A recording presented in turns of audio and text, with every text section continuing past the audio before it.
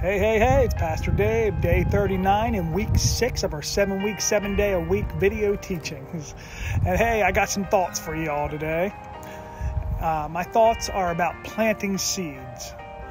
Listen, I, I listen to a lot of teachers in God's Word.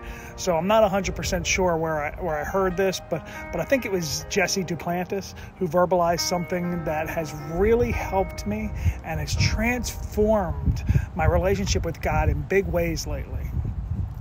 Uh, it might have been Andrew Wommack uh, who said it, but I'm pretty sure it was Jesse. But uh, anyway, you know, it, it doesn't really matter because kingdom words, words that come from God, they don't have any copyright. They're all for public access. Amen. So, anyways, so Jesse, I believe it was, he, he said that he never ties his faith to a measure of time. He keeps the clock out of the mix, basically. Okay.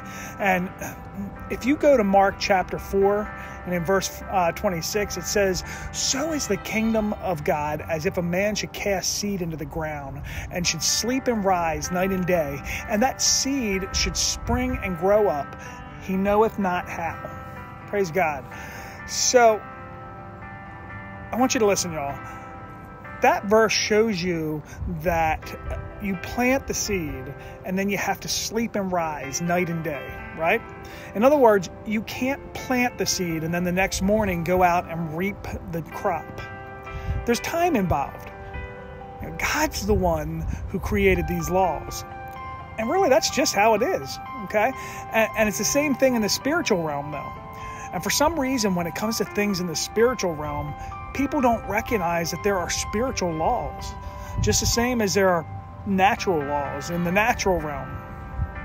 People think, sure, it's okay for the seen things uh, to work that way, but the unseen things, they think that they can manipulate those things because nobody can can see it. So it, it should just be whatever they say it should be, right?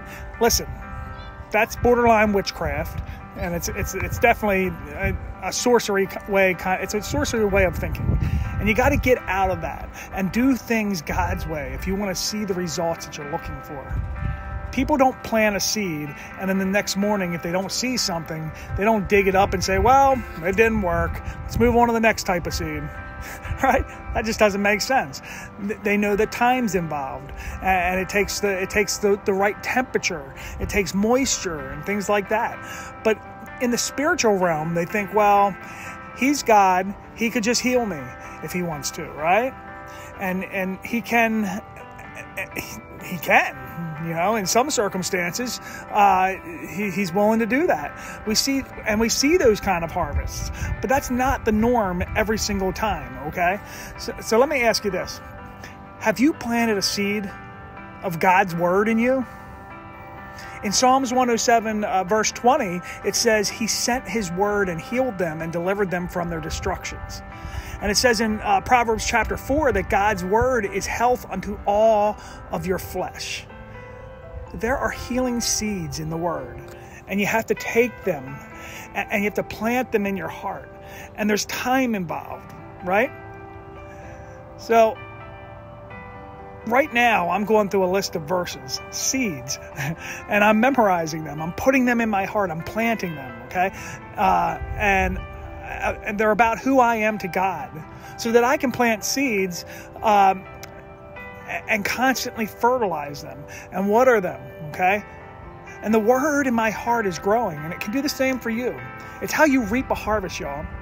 Okay, and again, I, I think you can accelerate it at times, absolutely, with your faith and your belief, but you can't stop this thing of seed time and harvest. And most of the time, it's seed time and then harvest. It's not all together always, okay? And if you're so focused on you gotta have an answer right now, let me ask you something. If, if it's going to take a year of you getting the word in you and planted in your heart before you can receive a harvest from God, what are you going to do for the next year?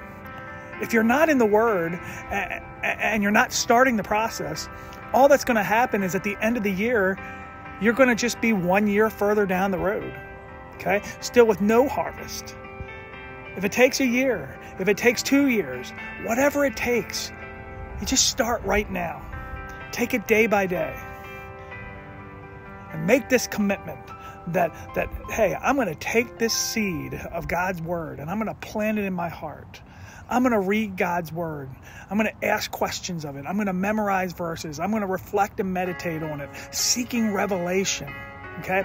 That's how you do it. It doesn't matter how long it takes. Just trust in the Lord. Stay in his word and the harvest will come. And it will astound you at its abundance. Amen. Hey, as always, take care of yourselves. Kelly and I love you to the moon and back. But more importantly, Jesus loves you with a never ending, forever and ever love. Amen. Peace out. Hallelujah.